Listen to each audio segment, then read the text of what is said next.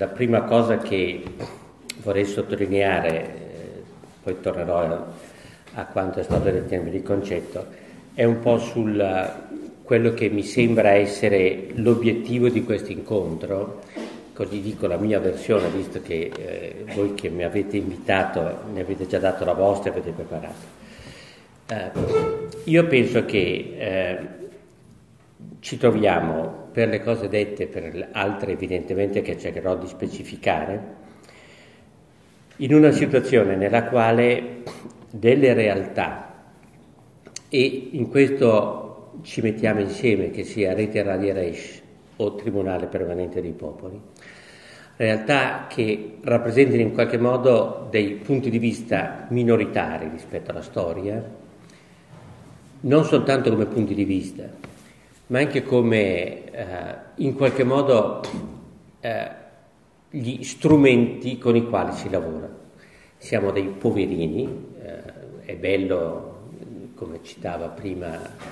o sempre citare Henry De Luca, ma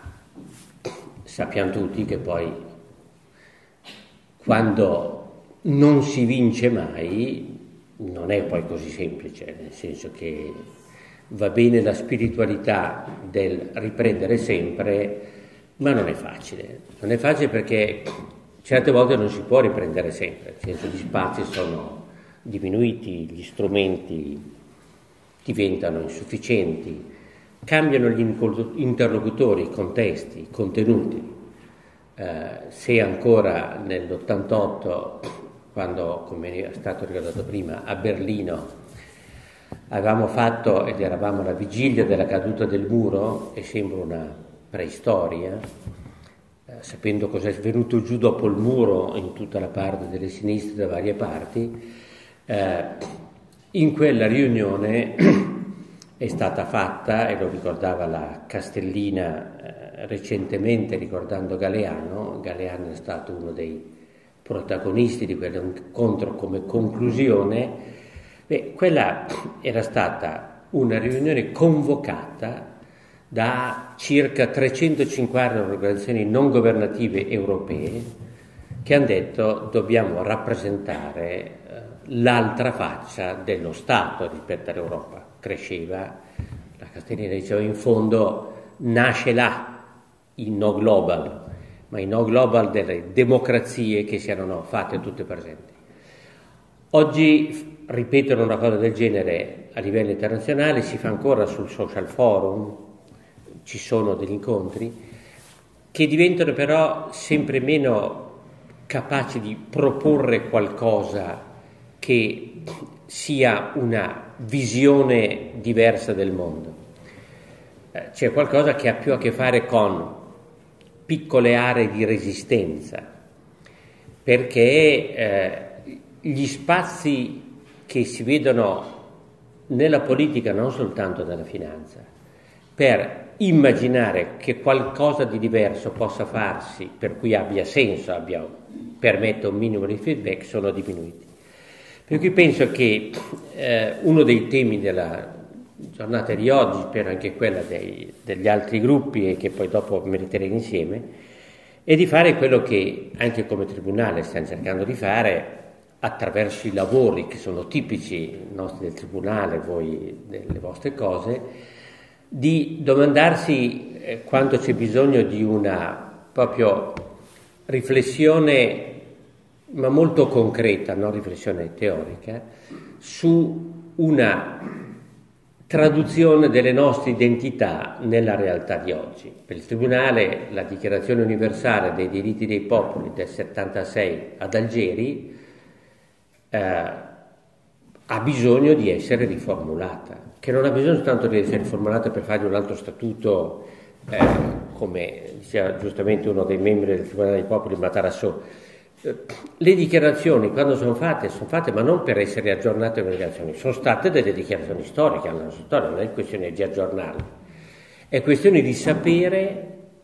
quanto quelle dichiarazioni universali si applicano a dei soggetti comparabili a quelli che c'erano ed è chiaro che non compaiono più, non c'è più bisogno di dire la relazione universale dei diritti dei popoli. La domanda è chi sono i popoli oggi? dove sono, dove vanno soprattutto. E il problema è di sapere se il concetto stesso di universale ha lo stesso senso di prima. Eh,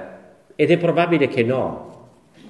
Eh, universale in un tempo di diritti universali che erano ancora nell'orizzonte nella dichiarazione universale dei diritti umani, erano quei diritti che per definizione dovevano essere di tutti e arrivare a tutti. Il concetto di universale in un tempo in cui le regole del gioco sono cambiate, in cui la disuguaglianza non è denunciata, è constatata e riconosciuta come parte del modello di sviluppo. Eh, nessuno più osa mettere in nessun programma, lo si mette nelle dichiarazioni, che ci possa essere un'uguaglianza tra gli umani. Proprio mm, provate a vederlo. Allora, il problema è come ci si muove in questo senso qua, in una situazione di questo tipo qua, che è quella che constatiamo. È chiaro che pongono una domanda per noi come Tribunale dei Popoli, nel senso del diritto, e cercherò di dare degli esempi, si pone anche per tutti gli organismi che in qualche modo, come ricordate qui, lavorano a livello internazionale con vari progetti, ma che si trovano in fondo, e veniva ricordato bene, a porsi domande che sono di una attualità drammatica qua, alla stessa ora. Voi pensiamo che in fondo il Brasile è quasi la vostra patria, no? Come avete ancora tanti progetti in Brasile, il Brasile oggi è uno dei grandi protagonisti della storia. Allora era, si andava nelle favelas, cioè, tutti, era un luogo da militanti, da dittatura. Beh, adesso il Brasile bisogna sapere se si gioca alla pari non soltanto perché è dentro dei BRICS, ma perché concretamente è diventato uno dei protagonisti delle contraddizioni con i quali noi abbiamo a che fare. E evidentemente aiutare il Brasile o aiutare qua siamo molto vicini, in maniere magari sono diverse, ma è sicuro che ci sono molti più ricchi in Brasile proporzionalmente di quelli che sono in Italia. Le disuguaglianze sono assolutamente tendono a compararsi perché l'Italia sta diventando un campione mondiale di disuguaglianza, il Brasile lo è stato da tanto tempo e le grandi domande che si pongono tra economia reale, finanziarizzazione e soprattutto qual è il destino delle persone concrete in queste disuguaglianze è uguale. È uguale anche perché il problema è di sapere se noi rimaniamo sempre il paese di Matteo Renzi, per cui in ogni modo abbiamo con l'Expo un futuro garantito, oppure siamo nella sostanza un paese molto più vicino ai vecchi PIGS che corrispondono ai BRICS come esattamente quelli che cercano di sopravvivere o che sopravvivono senza avere il problema della Grecia, ma soltanto perché siamo un po' più grandi ed è un, ci devo pensare un momentino perché tra l'Inghilterra che va via, la Grecia da un'altra parte, va via anche l'Italia, anche quelli che vogliono controllare economicamente o finanziariamente l'Europa si dovrebbero con dei pasticci in mano. Cioè noi viviamo in pieno quello che vive gli Stati Uniti, ma vive il Brasile, tanto per dare un'idea, visto che io mantengo il vizio di essere uno che lavora anche in sanità, la domanda su ha senso avere un sistema sanitario? È uguale ancora in Brasile, in Italia, era centrale nelle elezioni inglesi che abbiamo visto ieri cosa sono andate a finire, fine poi, poi chi lo sa, vedremo, però il problema è che la domanda sul sistema sanitario è esattamente una domanda che è vicinissima e molto didattica per capire la dissociazione tra l'area del diritto e l'area allora, dell'economia o della finanza chi gioca in sanità? È la concezione dello Stato? È una concezione del mercato che sta giocando la, nella sanità la stessa partita dell'energia, dell'acqua, per cui di immaginare una grande area dei servizi che guarda caso oggi includono tutti i capitoli che un tempo erano dichiarati dei diritti di seconda generazione. Cioè tutti i diritti della vita quotidiana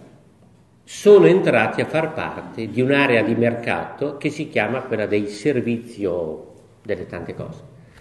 Ritorneremo magari dopo, ricordiamoci che è l'area su cui si sta giocando in questi giorni,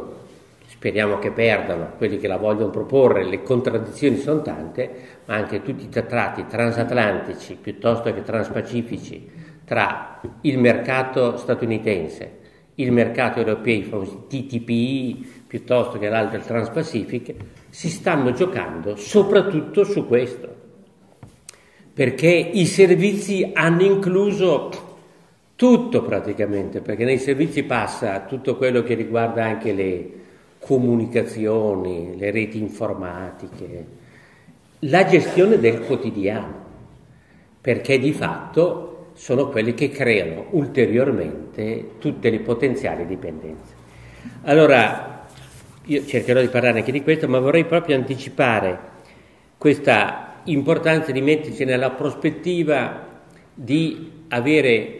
una sfida comune, rete tribunale, di guardare in avanti. Guardare in avanti perché effettivamente risposte prese dal passato devono essere radicalmente rovesciate non perché siano sbagliate, ripeto, come la dichiarazione universale, il concetto in fondo di, chiamiamolo, solidarietà, che ha alla base, nelle sue varie definizioni,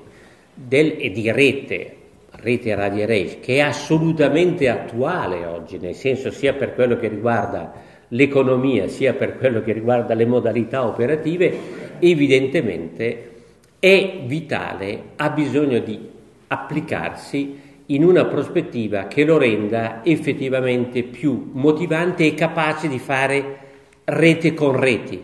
perché come tribunale noi abbiamo lo stesso problema, adesso si sta cercando perché allora si era pionieri di certe cose, adesso si è in tanti modi e la battaglia sul diritto e l'economia si apre su tanti fronti. Un'ultima cosa che eh, segnato mentre veniva fatta l'introduzione da Ungaro, eh, è molto importante quanto è stato detto prima su questo discorso e poi c'entra con il, direttamente con il titolo, così dopo entro eh, nel mio sviluppo, eh, sulla parte della finanza speculativa rispetto alla democrazia è molto importante non soltanto perché è centrale nell'analisi e tutti eh, ne parlano proprio il rapporto tra la finanza come una economia in fondo virtuale che può cambiarsi d'abito in qualsiasi modo rispetto all'economia reale e rispetto a un problema della democrazia perché la democrazia resta intrappolata. Cioè, quello che eh, qui veniva fuori, o viene fuori mi sembra, con tutte quelle cose importanti che poi intanto il testo l'avrete, anche su tutti i passaggi della shock economy, il fatto cioè che l'economia che si propone come la forza razionalizzante, in effetti, e non soltanto perché ne parla Naomi Klein nel suo libro, ma perché ne parla anche in fondo in altri termini, un altro economista che è diventato molto di moda come Piketty, che tra l'altro pubblica anche oggi un, un, una nota piccolina su Repubblica che è interessante, ci ritorneremo, ma che cos'è questo fatto qui? L'economia si presenta eh, di fatto come quella che vi garantisce la pianificazione e tutto, ed è invece quella che procede attraverso i meccanismi più irrazionali e meno controllabili. Proprio la shock economy è esattamente questo. In fondo, quando uno parla degli ma quando uno pensa che a un punto dice nel 2008 la bolla speculativa è scoppiata, o per bacco. Sembra che sia scoppiato il terremoto, nessuno prevedeva, è come quando fanno il discorso dell'Aquila, è scoppiato il terremoto, i mori. Allora, E ci si abitua a questo punto a dare nel quotidiano una fiducia a questa cosa che non prevede niente, anzi che gli scoppia tutto tra le mani e ogni volta dice per Bacco non me l'aspettavo,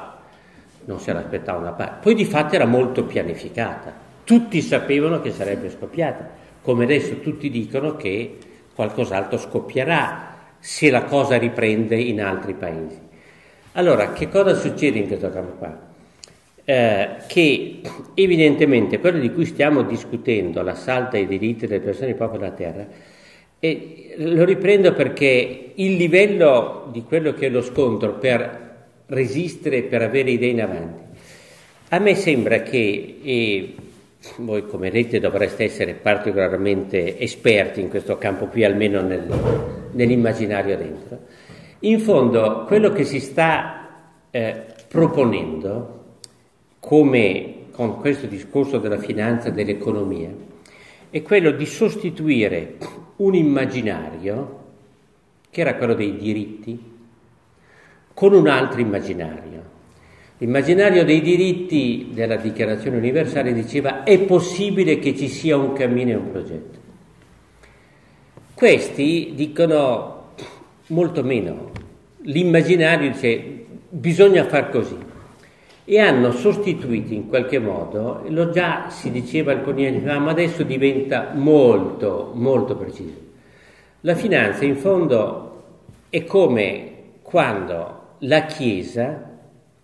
cioè la società, pretendeva di avere come sua giustificazione una teologia dogmatica che per definizione esiste di per sé. È dogmatica e dice di custodire la verità di per sé. Non è giudicabile,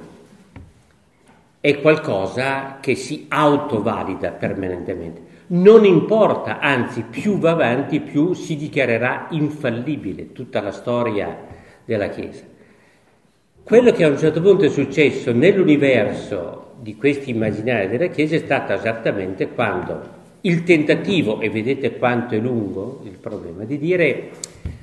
ma non era mica così il Vangelo, non, era un'altra roba.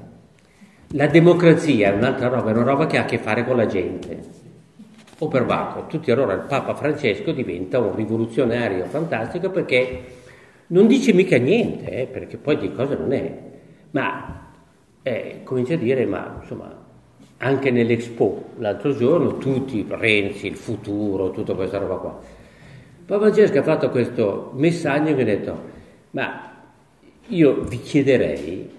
di ricordare che quando si parla della fame, l'energia, tutto, ci sono dei volti. Non è stato a dire, ma il modello dello sviluppo sa benissimo, i semi, no, ha detto ci sono dei volti, ha ricordato perché? Perché rispetto a un conflitto o un confronto tra immaginari vince il più forte, quello che in quel momento controlla il potere. E in questo senso la finanza oggi non ha un altro immaginario, perché tutti hanno rinunciato all'arte immaginaria, tutti sono assolutamente attratti dal poter avere un'idea, perché il globale ha dato l'idea che è, insomma, uno che ha un'idea globale è bravo, perché fa l'idea che in un mondo complesso uno che ha una risposta globale è il più furbo, il più bravo. In effetti il globale o il mondo globale dice nello stesso tempo che non c'è risposta, che bisogna completamente e continuamente dire che le cose sono troppo complesse per essere lasciate alla realtà. Ci vuole qualcuno che dall'alto, dal centro, da qualche parte, che siano le borse, che siano gli spread, che siano la banca europea, cambiano gli attori, ma tutti fanno come se partecipassero alla stessa globalità. Ora, se uno guarda nella concretezza direbbe, adesso non facciamo finta, se c'era un tempo in cui il mondo non è globale ma è frammentato in gente che non si può vedere tra di loro è oggi, nel senso che il conflitto che c'è tra gli universi è Però tutti parlano, del, tanto vero che quando qualcosa non entra nel globale, gli danno risposte globali, poi ne parlerete nel pomeriggio con i migranti, i migranti non sono soltanto quelli del Mediterraneo, i migranti sono diventati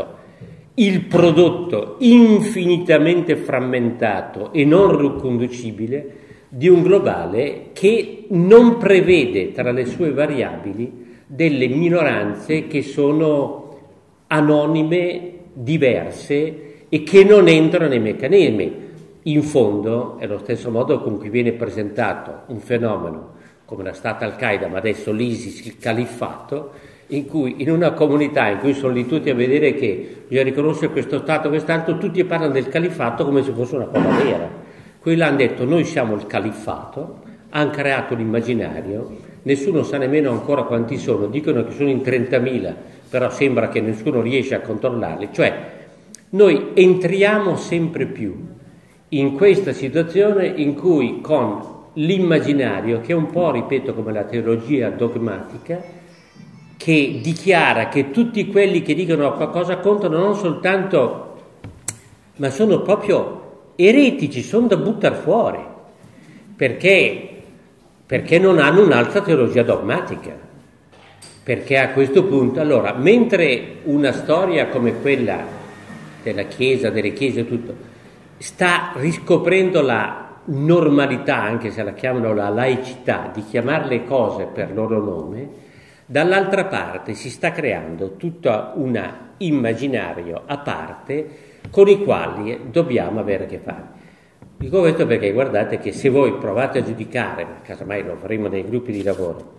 come vanno avanti le decisioni che vengono prese nella società qui piuttosto che in Brasile, gli ultimi che compaiono sono veramente no, i diritti delle persone, ma le persone,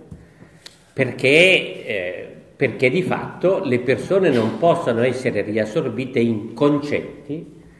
e le persone possono porre anche delle domande concrete rispetto alle quali oggi si risponde dicendo eh ma il sistema non lo prevede. E a questo punto questo sembrava ai tempi quando si cominciava che questo rappresentava da una parte un mondo post-coloniale, piuttosto così. Adesso da una parte le cose vanno avanti, voi na- nascete almeno col nome in Palestina, eh, la Palestina è peggiorata, non ha più un problema di visibilità la Palestina, è purtroppo molto visibile. È un oggetto conosciuto da là alla Z da parte di tutti, anche dai droni, li fanno fuori precisamente dai bombardieri, cioè è cambiato il mondo. Non è cambiato il destino di Radia Resh, dei bambini che adesso vanno avanti per Gaza piuttosto da altre parti. Perché, perché il problema è che si sono ritirati ulteriormente quelli che possono fare un cammino diverso. Allora, se questo è un po' il contesto, è chiaro che noi dobbiamo immaginare di fare delle analisi che sono eventualmente generali, saranno più o meno ripetitive, poi mi scusate per eventualmente la ripetitività, ma avere un rapporto di analisi che devono essere oggi soprattutto estremamente collegati coi progetti. Se noi non riusciamo a riformularci dei progetti a misura del quotidiano, il rischio, il rischio, poi ognuno si prende i rischi che voglia, ma da un modo, la probabilità di far arrivare i nostri progetti a chi ne ha bisogno diminuisce proporzionalmente alla nostra incapacità eventuale di riformulare, lo dico per il Tribunale come per voi, delle categorie o degli obiettivi sui quali lavorare. Uno dei temi su cui il Tribunale lavora, cercherò di discutere e ne avevamo parlato anche con alcuni dell'area Reis, è proprio sul problema della qualificazione giuridica non tanto dei meccanismi della finanza, che tutti conoscono ormai. Il problema è, è possibile oggi porre la domanda e come? Sulla legittimità stessa della finanza. Tutti ne parlano come un'entità, è come quando parlavano della Trinità. Allora se uno discuteva che la Trinità non la capiva e qualcuno diceva per cui non esiste, è chiaro che la finanza esiste e come? E funziona in maniera perfetta. Ma è legittimo dire che è là soltanto dove si deve concentrare la libertà d'azione e l'impunità rispetto al render conto alla gente, perché era esattamente in fondo il discorso, è il discorso di tutte le ideologie dogmatiche, cioè dei totalitarismi. La finanza è un nome dei totalitarismi oggi facilmente declinabili nelle loro versioni un po' in tutto il mondo, ma di cui non si può parlare e che pretende di non essere valutato come un totalitarismo, perché voi vedete che poi la finanza attraverso le troiche piuttosto qualcosa distribuisce i titoli, il populismo, il totalitarismo, cioè tutto ciò che è ideologico lo vede laddove ci sono delle persone, no? Per cui se uh, Grecia dice ma noi abbiamo anche la gente che muore, eh madonna che populismo la gente che muore, la gente che muore non entra mica nei conti delle banche, per cui non c'è. Ma lo stiamo facendo anche da parte nostra, provate a chiedere a quelli che hanno oggi in Italia degli invalidi qual è la capacità che hanno di ricevere dei, sostenimenti, dei, dei, dei supporti. Basta cancellare un capitolo o spostarlo dall'ASL al comune. E poi il comune dice ma questo è dell'AS perché l'ha classificato. E in questo gioco in questo frattempo le persone non ci sono più perché non essendo né né dall'altra parte e quelli che amministrano queste cose dicono noi cosa possiamo fare siamo dipendenti di questi non possiamo fare le cose dall'altra parte e al massimo dice fate un po' di facite a muina provate a giocare intorno e se no andate verso il volontariato, no? adesso, adesso, poi che il volontariato l'ha rilanciato Pisapia Milano con l'Expo per pulire i muri di Milano perché hanno detto che c'è stata la seconda guerra mondiale il primo maggio che hanno bombardato Milano, poi per carità hanno dovuto contare soltanto 15 macchine tutte perfettamente assicurate che sono state perché hanno fatto malissimo, ma per dare l'idea di come questo meccanismo di trasformare i termini del problema è diventato eh, dominante. Allora, se, eh, scusate della lunga introduzione, io quello che pensavo, ma sono disposto a cambiare, di fare una, un po' eh, la storia, non perché non la sappiate, ma giusto per vedere un attimo com'è che si è sviluppata questa realtà di cui parlavo adesso talmente polarizzata tra finanza speculativa, democrazia, in fondo noi tutti siamo dei paesi democratici, e se attraverso questa storia eh, il discorso che è nella seconda parte eh, permette di essere meglio affrontato eh, identificando alcuni dei punti eh, che possono diventare una risorsa proprio a livello intellettuale e poi pratico nell'identificare eh, dei progetti per il futuro. Si dice sempre che senza la memoria non c'è futuro, proviamo a vedere se è vero, io cerco di farlo e poi casomai se eh, sono troppo noioso fate segno, qui il moderatore me lo dice e eh, riprenderemo poi delle cose. Eh. Allora, eh, il primo punto che voglio sottolineare è dire ma questa, questa sfida tra un immaginario molto totalizzante e che esclude la sperimentazione quotidiana e la democrazia eh, è una cosa molto nuova. Perché eh, evidentemente questo è importante perché uno dice beh, facciamo siamo stati a vederlo, poi è scoppiato fuori questo e noi siamo... In effetti il problema che si pone penso ha a che fare proprio con un problema che tocca non tanto la finanza speculativa quanto la democrazia. Uh, penso che sia stato tutto un tempo uh, che noi abbiamo vissuto molto in Italia e molto tanti modi, la, la, storia è stata raccontata tante volte, è stata ripresa adesso anche quando nelle ultime cose sulla resistenza, dopo i 70 anni che c'è stata la fine della guerra, in questo tempo, eh, come lo racconta molto bene proprio un, un libro che a Torino come centro che si chiama La resistenza perfetta, non so di voi chi di voi l'ha letto così, di Giovanni De Luna, che è uno storico eh, di Torino e che racconta di una donna che era di qui vicino, una aristocratica Leletta, che poi è stata all'origine di un posto bellissimo che parecchi di voi conosceranno, che mi ricordo Pradmill, che è un, posto vicino a Pinerolo con un monastero bellissimo, moderno, che diceva a questo punto come nella Resistenza si creava, si era creato un immaginario che ci fosse la possibilità di avere una società in cui la diversità non era un blocco nel parlarsi o nell'avere un progetto comune, ma anzi si capiva che soltanto accettando la infinita diversità, allora erano comunisti, cattolici e tutto, là c'era un progetto di resistenza e si riusciva a produrre non soltanto liberazione ma cultura alla resistenza perfetta in senso di... cioè, che era il concetto di guardate che però non era una cosa tutta rose e fiori, era molto duro, ad esempio moriva, ci, si moriva per le strade in tanti, c'erano i traditori, c'erano i torturati, tutto. Il problema cioè di dire la resistenza, se diventa democrazia formale, a questo punto la democrazia può di colpo essere considerata non più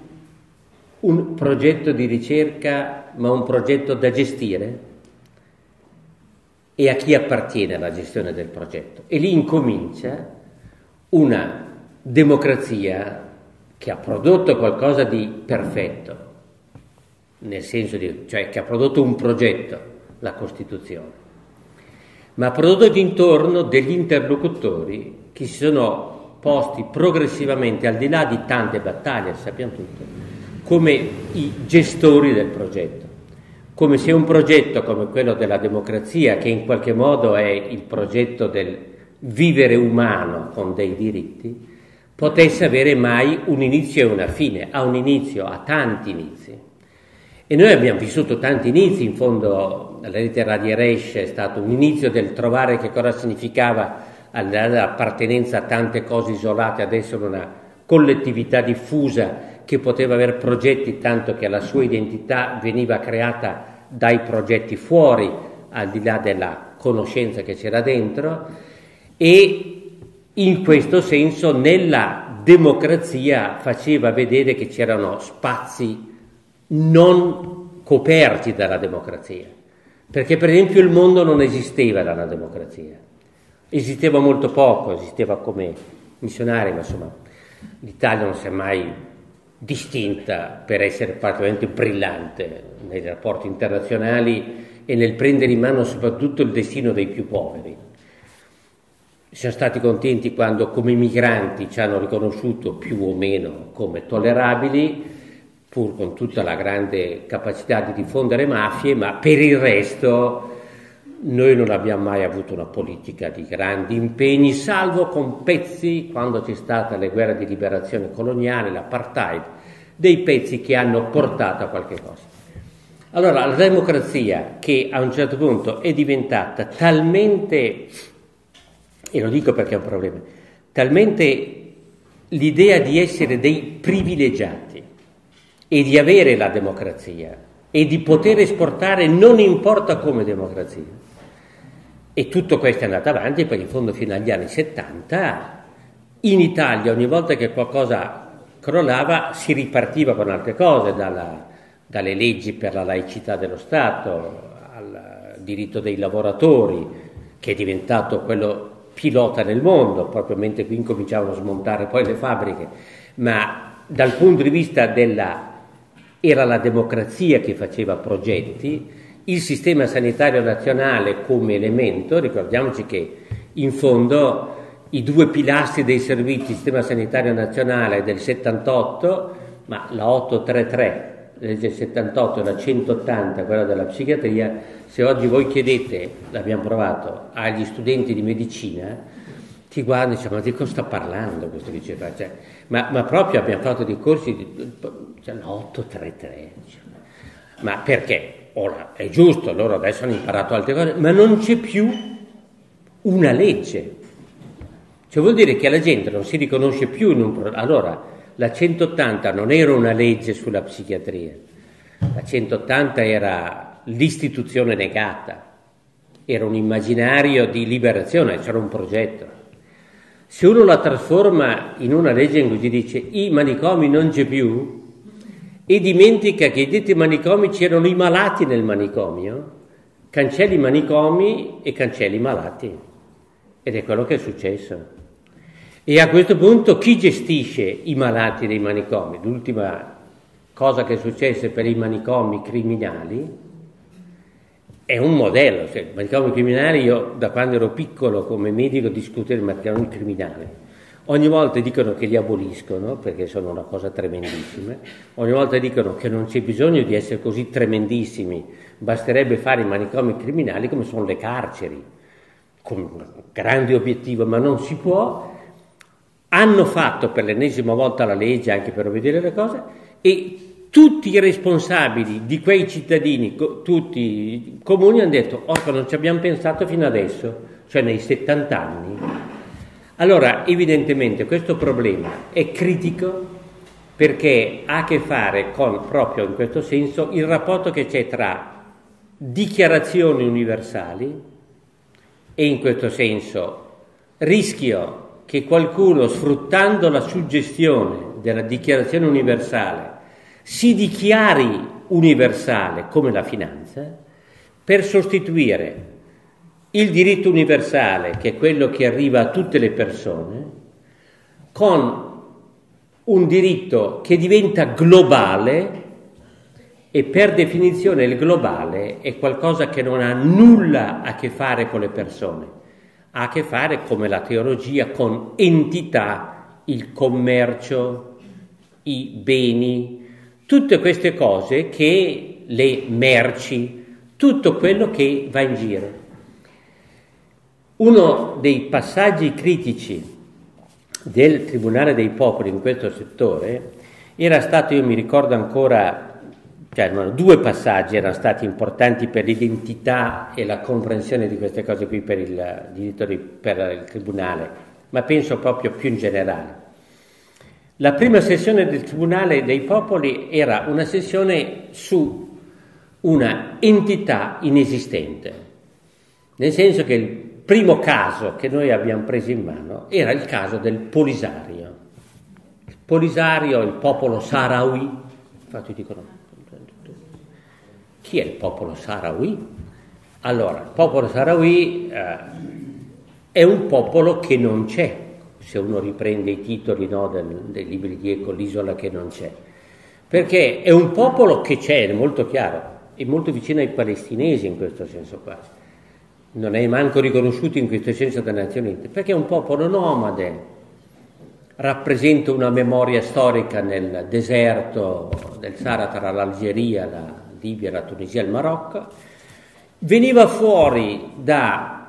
un tempo coloniale che però non ha fatto tempo ad essere un paese colonizzato soltanto da qualcuno perché nel deserto nessuno... Salvo che nel frattempo qualcuno poi ha scoperto i fosfati nel deserto vicino al Marocco, allora a questo punto è diventato importante controllare i fosfati, la pesca. Polisari aveva per di più una tradizione orale, non scritta, eh, che si tramandavano, un po' con i musulmani o meno, e chiedeva di essere riconosciuto come popolo. Ma chi aveva interesse a riconoscerlo come popolo? La Spagna ha detto per carità di Dio è già buono a finirla con franchismo, io non ne voglio più sapere, lo vendo a chi lo volete perché era un territorio spagnolo. E il re del Marocco, che era un dittatore, prendo io intanto, non c'è problema, la Francia ha detto benissimo, intanto al Marocco è di Venezia. Questi che sono passati da un posto all'altro. E c'era il problema, e chi di voi lo dovesse leggere quella storia è interessante, di trasformare un progetto di popolo in un linguaggio concreto di diritto che potesse essere utilizzato da questi che non avevano una tradizione scritta né niente in qualcosa che potesse permettere di dialogare con la gente intorno, se no vai all'Unione Europea e dici noi vogliamo essere un popolo e quelli ti mettono in mano la commissione. Ed è stato un passaggio importante perché a questo punto con la sessione che è stata fatta a Bruxelles, con tutti i marocchini che non ci volevano fare la cosa perché diceva che eravamo molti nemici, è stato fatto un documento che per me, ma per noi era stato penso importante, ancora adesso ce l'hanno ricordato eh, quelli del Sahrawi che si ricordano di questo, che hanno fatto da poco anche un loro anniversario, perché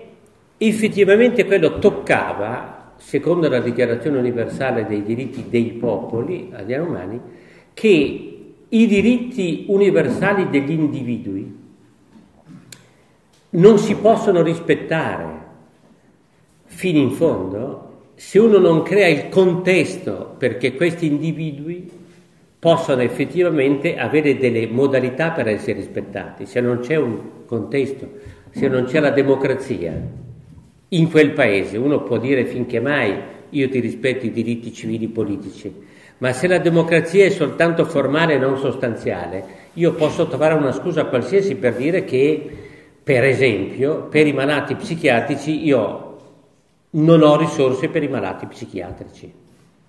E a questo punto, in un modello economico, il fatto di non avere risorse, o dico ai migranti che non ho risorse per i migranti che non hanno già un posto di lavoro. Ma guarda caso, come fanno dei migranti ad avere un posto di lavoro già prima, quando da noi in Italia c'è nel sud il 42% dei disoccupati? Difficile, eh? Allora, il problema che si è posto immediatamente per il diritto è come applicare a un mondo in cambiamento, non c'erano più le colonie tutte, un diritto che era stato immaginato per un mondo post-coloniale e in democrazia, quando le democrazie che c'erano intorno non sapevano come riconoscere un popolo che non c'era.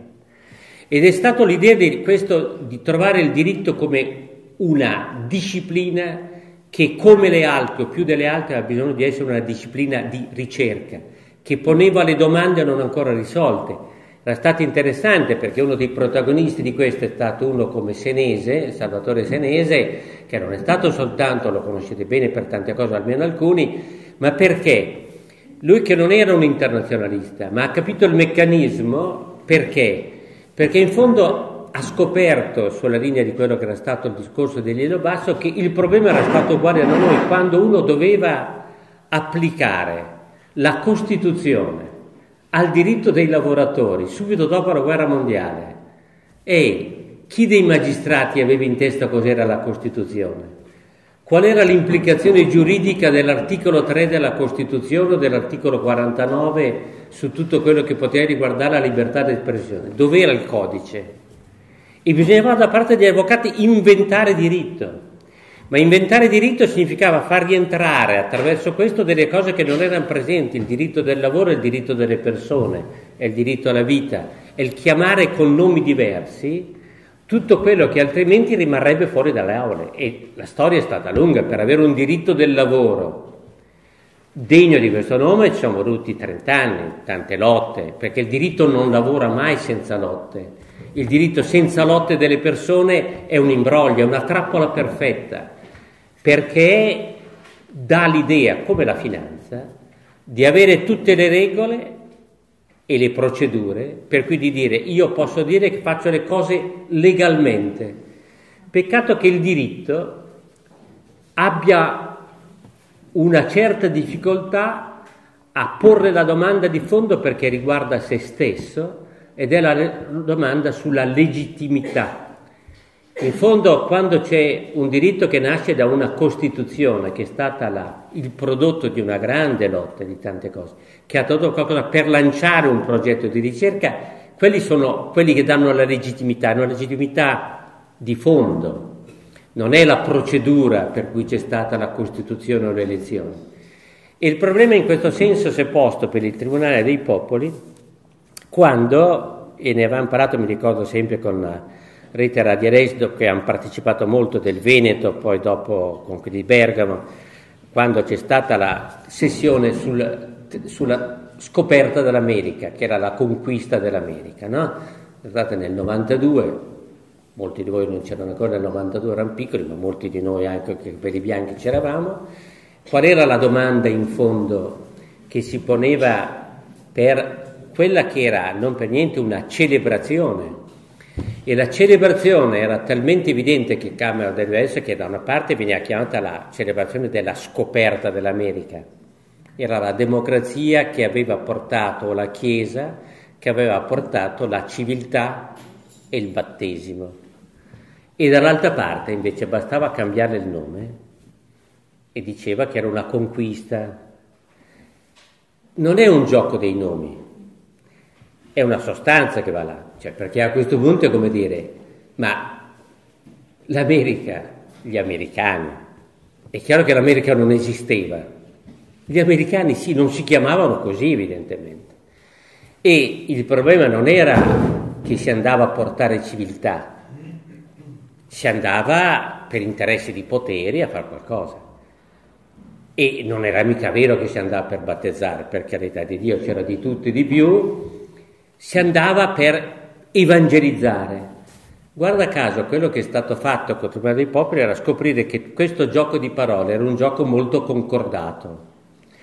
era di interesse comune, quando dicevo della teologia dogmatica di allora, che aveva l'idea dell'eliocentrismo, di tutte queste cose che erano tutte parte di un pacchetto e della visione globale del mondo, e piuttosto il fatto che c'era un salvatore di tutti e che la religione cattolica era l'unica, non c'era... che in questo senso qua, quello che si scopriva o quello che si incontrava non era un altro come te, era in ogni modo un altro che o si trasformava nella tua immagine o somiglianza oppure doveva essere distrutto. Ma non distrutto perché tu sei cattivo, ma per carità, ma perché non ha diritto di esistere. Se uno che non accetta la civiltà e non accetta il Vangelo è proprio uno, proprio un selvaggio, non, non va mica bene. Il diritto internazionale nasce per giustificare questo, perché a un certo punto Bartolomeo della Casa si alza e ha detto ragazzi ma qui ce n'è ne avete fatto di tutte e di più. Diamoci delle regole. E il diritto internazionale nasce esattamente come il World Trade Organization, che nasce nel 94, eh? la conquista del 92, la conclusione del percorso parallelo a quello dei diritti universali, che dichiara che c'è un diritto globale delle merci piuttosto che un diritto universale delle persone, nel diritto internazionale è del 1994, la celebrazione della conquista del 92, le, le regole sono le stesse e a questo punto l'interesse di quella sentenza che ritorna più oggi è di dire guardate che quello che nel diritto internazionale occorre cambiare non è una regola all'altra, ci sono è chiaro che hanno già fatto il diritto coloniale, ma non è, è la pretesa che ci sia un diritto super partes per definizione, perché è proclamato dagli stati che hanno il potere, per dichiarare delle leggi per fare delle leggi che siano universalmente valide. In fondo si faceva vedere molto bene con la sentenza che il diritto di evangelizzazione era di fatto il diritto di commercio. Si evangelizzava perché era un segno della redenzione, della fede, il fatto che si accettasse la libertà, perché se uno non accettava la libertà del commercio voleva dire che non riconosceva un valore. Allora è già la conquista dell'America. Il diritto a questo punto viene dichiarato, se leggete a chi capita di leggere quella sentenza, che il problema era proprio che ci sia una legittimazione del diritto solo là dove ci sono delle, delle lotte di popoli che hanno delle persone alla loro base, non delle idee che vengono portate avanti per regolare la vita delle persone. La legittimazione del diritto in questo senso è quella che poi nasce via via dalla, rivoluzione francese, dalla rivoluzione americana, mai in maniera definitiva. Ogni luogo ha un suo bisogno. Quello che noi viviamo oggi è un po' questa grande sfida che non ha più a che fare con conquista da una parte o Il mondo è diventato globale geograficamente, non abbiamo più da scoprire niente, anche se qualcuno dice adesso dobbiamo scoprire Marte. Cioè, per quello che riguarda per adesso il mondo degli umani lo conosciamo molto bene e abbiamo anche a che fare con una teologia globale, quella dell'economia o della finanza, che dice che tutto deve essere regolato da chi? Ed è interessante a questo punto vedere qual è stato in questo tempo il percorso di quello che era il progetto della dichiarazione universale e o della democrazia. In questo tempo, e senza dirlo esplicitamente, lo ricordava molto bene anche prima Ungara, in maniera così naturale come un'evoluzione, si è pian piano e facendo come se si trattasse di capitoli diversi, svuotata la parola diritto, diritto universale, dei suoi contenuti, ma come? Non facendo dei dibattiti teorici, no, no, no, perché quello è sempre un po'... È più semplice far vedere che nasce una, anche come la conquista dell'America, se mica bisogna fare. Prima hanno fatto fuori gli indios, poi hanno detto per Bacco, adesso però facciamo un atto di pentimento e dichiariamo che loro hanno l'anima, quelli almeno che vengono da adesso in poi. Prima non ce l'avevano, adesso dichiariamo che saranno un'anima, va bene. Ora, chi entra nel giro ha l'anima. La Cina che entra nella World Trade Organization è diventata da poco, no? adesso chi può fare a meno della Cina, per verità? Anche il suo padiglione all'Expo è il più simpatico, il più creativo. Allora, hanno fatto loro l'Expo prima di noi, per cui no, non c'è problema. Allora, il problema che si pone è che lo svuotamento concreto delle parole lascia queste parole come effettivamente dei simulacri che sono tanto più pericolosi perché possono essere ripetuti come se fossero esistenti, ma di fatto non ci sono più.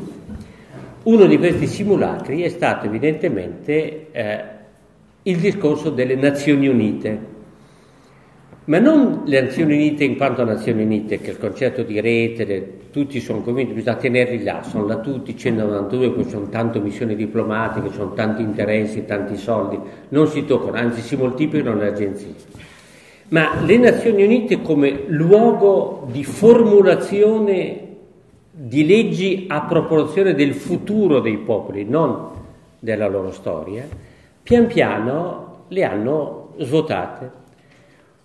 Il passaggio critico più esplicito, non perché ci fosse così, è stato quello evidentemente per il quale le Nazioni Unite hanno finito per essere quelle che approvavano la guerra. La legittimità, non la legalità, la legittimità delle Nazioni Unite è basata sul fatto che la dichiarazione universale è fatta perché non ci sia più guerra. E che per arrivare a dichiarare una guerra deve esserci un attacco preciso a dei diritti fondamentali. La guerra delle Nazioni Unite col Golfo è una cosa fatta un po' così, sì, il Consiglio di sicurezza, sì, insomma, sì, siamo incerti, non sappiamo mica. Poi insomma fanno un po' di cose e, e fa, giusto, tanto, perché adesso non c'è tempo per discutere, ne facciamo una di guerra e così vediamo, poi discutiamo. E incominciano tutta un'operazione per cui adesso che sia le Nazioni Unite, che sia l'Europa e che dicono bombardiamo così via, bombardiamo quelli là, facciamo, è diventato, con tutti i passaggi delle guerre umanitarie, le guerre per la democrazia, poi tutti dicono che è sbagliato, eh, perché adesso tutti dicono ma che casino abbiamo fatto con l'Iraq, ma che casino abbiamo fatto con la Libia, cioè è come, ripeto, nella Chiesa Cattolica il gioco della confessione, cioè basta confessarci, la prossima volta non lo facciamo più, eh, ma se c'è qualcuno che ci perdona e andiamo avanti in questa direzione, svuotando di fatto tutto quello che è il meccanismo di verifica della legittimità. Questo discorso sulla legittimazione della guerra, le Nazioni Unite l'avevano incominciato un po' prima, perché quando negli anni 70, questi benedetti anni 70, si era fatta una serie di operazioni a livello internazionale, dalla sanità al resto, una delle operazioni prime che era stata fatta era stata quella di, che è molto centrale con la finanza, che si incominciava a vedere, e lo si era visto anche col Tribunale Russell per il Brasile, che stava sorgendo accanto al potere pubblico dell'economia, un potere privato che pian piano incominciava a dire ma, suggerire, ma c'è proprio bisogno di uno Stato che ci regoli. Se noi diventiamo multinazionali, possiamo scegliere noi lo Stato che ci piace, metterci lì e dalle altre parti noi siamo legittimi, siamo privati, la libertà del commercio ci permette di regolarci. La prima legislazione delle Nazioni Unite sulle multinazionali, che era nata già nel 76 come gruppo di lavoro, viene cancellata non, non sono chiari i problemi e poi le multinazionali non sono dei personaggi pubblici, hanno una personalità giuridica ma privata, non è di competenza delle Nazioni Unite, o per Baco. Si sta creando un potere transnazionale che si dichiara fuori dalla legislazione degli Stati e uno dice, per Bacca avete detto che gli Stati sono responsabili dei diritti, del lavoro, di tutte queste robe qui e poi c'è qualcuno che dal lavoro produce questo. Incomincia da allora tutto questo discorso. La guerra economica o le guerre economiche che sono quelle dichiarate senza che ci sia una possibilità di controllo effettivo da parte degli Stati. Questa era stata dichiarata per prima sistematicamente nei paesi cosiddetti in via di sviluppo, perché era il primo modo è stato quello di esercitare le guerre economiche come le nuove guerre coloniali. Poi via via che il mondo è diventato globale, non c'era più un luogo in cui potesse dirsi la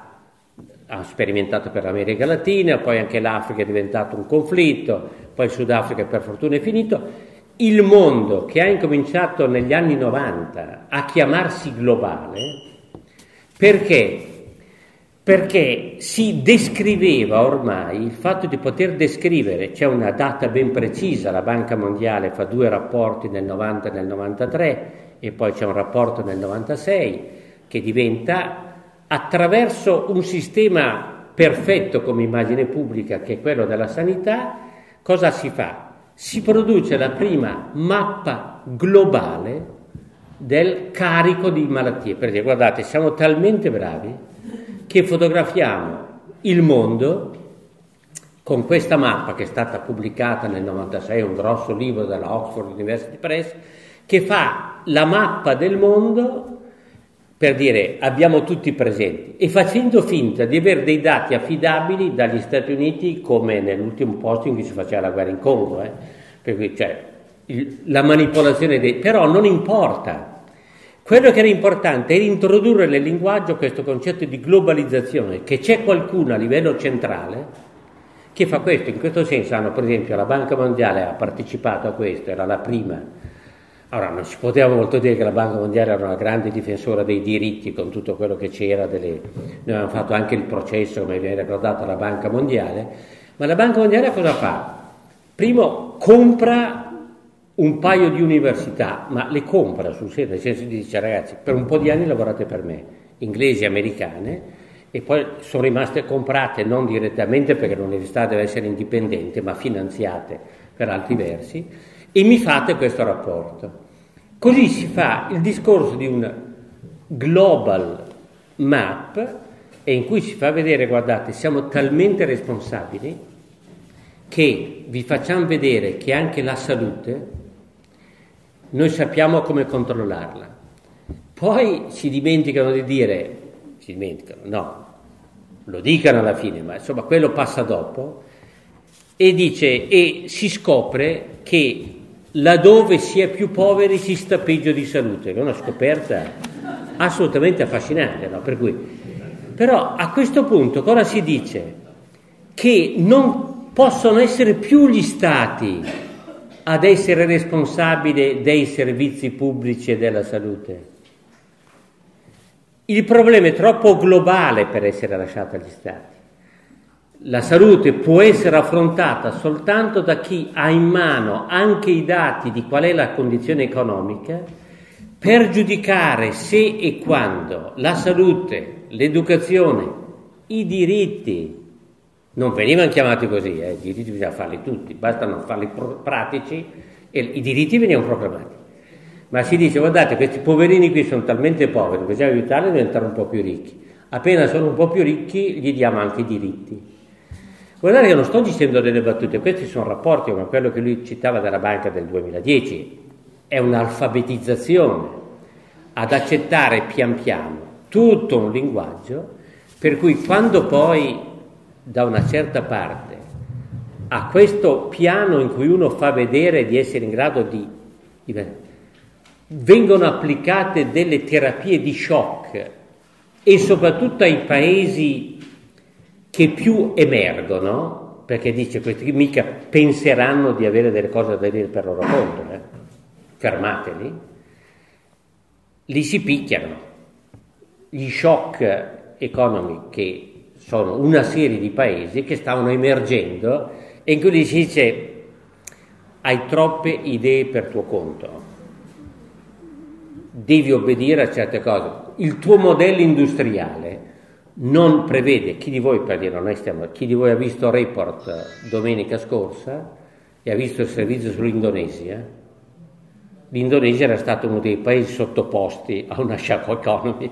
perché nell'ambito del sud-est asiatico era uno di quelli che veniva fuori come paese e rischiava di mettere insieme tra Indonesia, Filippine, Malesia, mm, queste nuove economie, teniamo sotto lontano, e gli hanno imposto dei modelli dalla palma o altro, cioè modelli che fossero funzionali al mercato globale, per cui di fatto l'economia di quei paesi li condizionava ad essere dipendenti dall'economia globale. Lo, lo svuotamento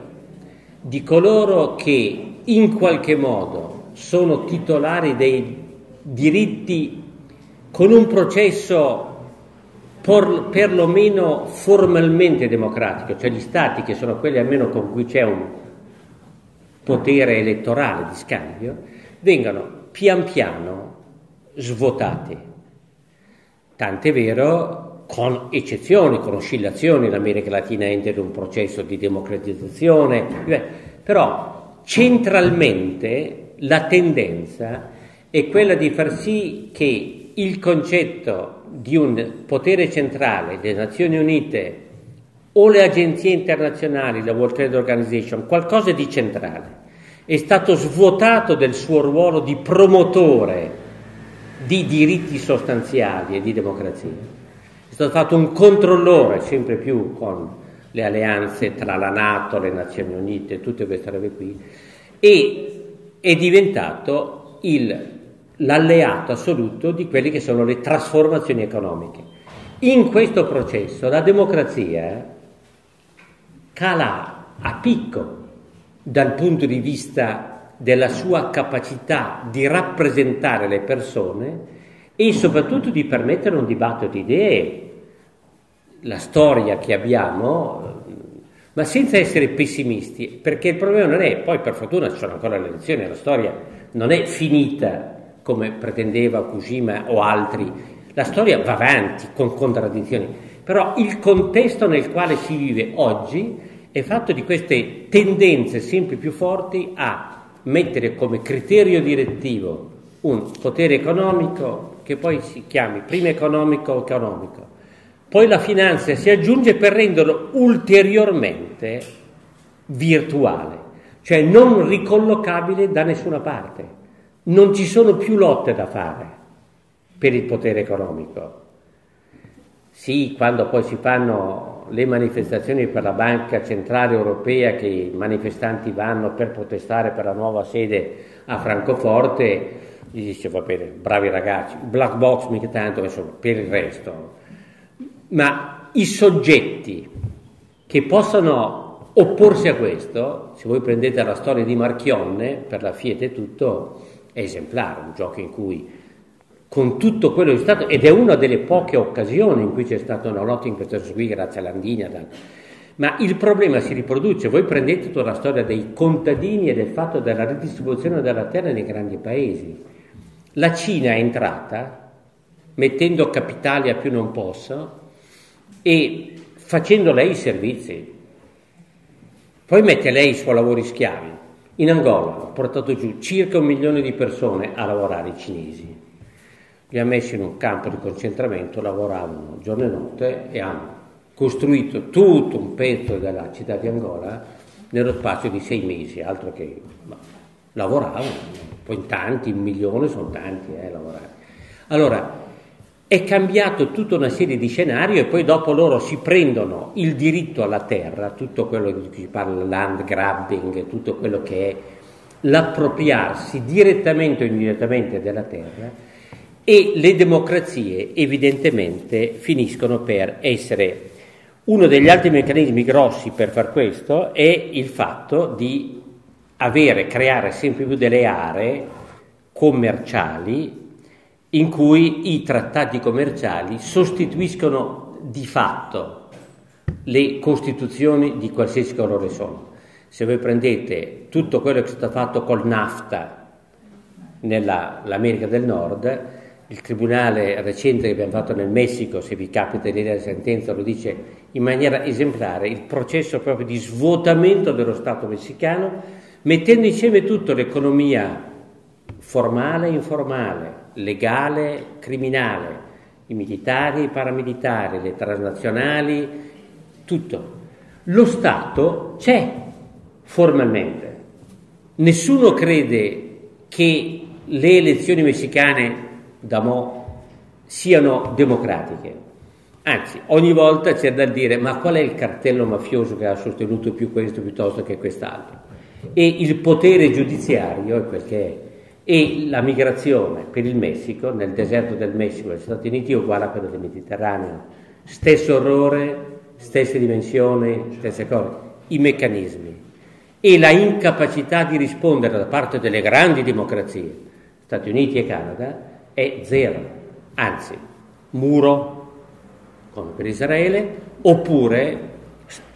Canada, che era pure un paese democratico di quelli che più aiutava il sud, ed è diventato il paese che ha concentrato il potere delle industrie minerarie estrattive, che sono quelle che stanno veramente desertificando alcuni dei paesi con le miniere a cielo aperto, con tutto quello che poi qualcuno di voi avrà visto anche nel film di Salgado, di tutto quello che riguarda il sale della terra. Allora,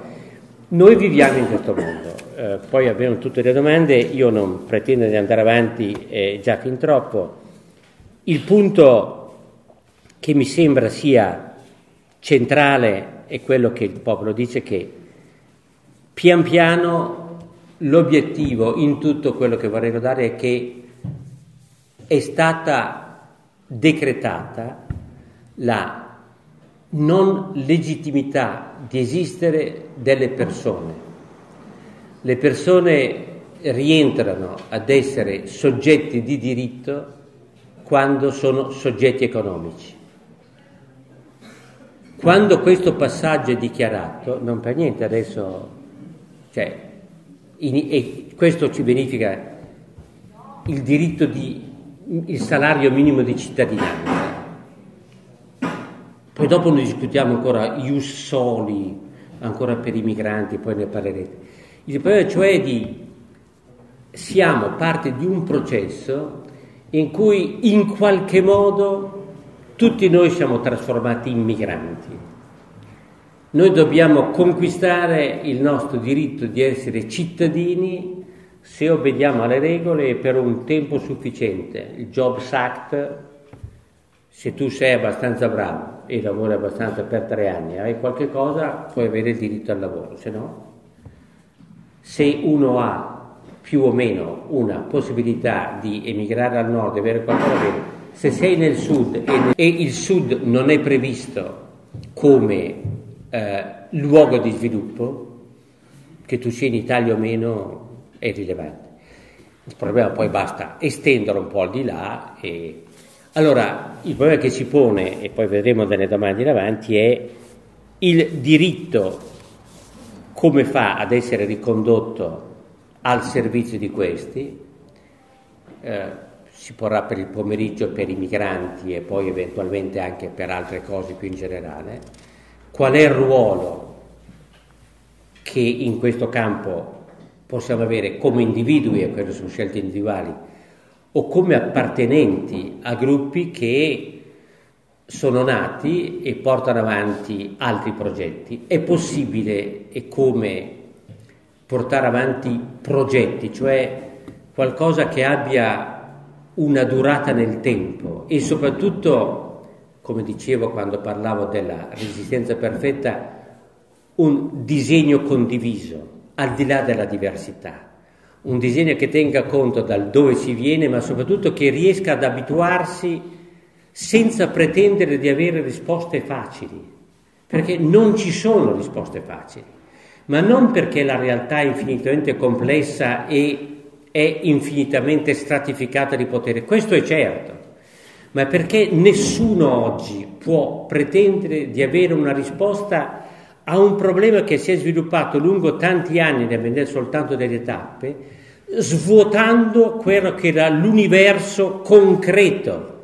di idee, di rapporti che c'è stato per tanto tempo. Voi pensate come è stato facile svuotare la Costituzione italiana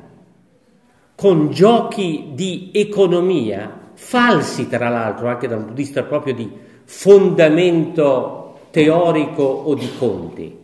Tutti riconoscono, perfino il Fondo monetario, che i loro conti erano sbagliati sulla sostenibilità. Eppure noi abbiamo introdotto un fiscal compact per cui di fatto oggi, e l'hanno cambiato al volo. Il recuperare questo, come tante altre cose, evidentemente non è perché il problema sia difficile dire che la Costituzione e che il fiscal compact è costituzionalmente in... Se uno nel frattempo incomincia a dire che è la Costituzione alla fine, che bisogna dirla, dirla, dirla, non c'è problema, nemmeno Renzi osa dire che la Costituzione è passata, però di fatto basta non citarla e basta decidere che io faccio qualcosa. Poi se la Corte Costituzionale dice che è illegale,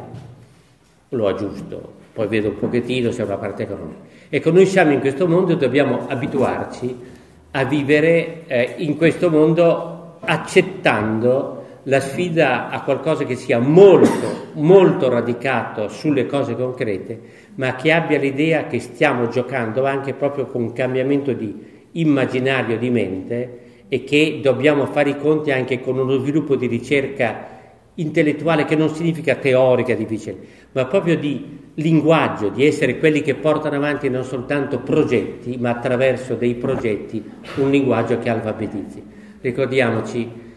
noi, voi siamo nati quando Don Milani a Barbiana diceva esattamente, signori, dalla parte di là il loro potere è il fatto che loro hanno tante chiacchiere fatte di tante parole. Noi dobbiamo averne poche, ma che sappiano effettivamente tutte quelle dell'altra parte. L'alfabetizzazione oggi passa per questa roba qua quando vi accennavo prima, non perché sia un fan del Papa, che il Papa sta semplicemente facendo una alfabetizzazione per laicizzazione di qualsiasi documento o di qualsiasi affermazione dogmatica o teorica. In fondo il Papa parla molto, molto poco di Dio di cui dovrebbe essere e si ricorda di essere un pastore che parla di uno che ha parlato del Vangelo. È un'operazione di downgrading, di portare giù il linguaggio, ma proprio perché possa parlare delle persone reali. Scusate la lunghezza.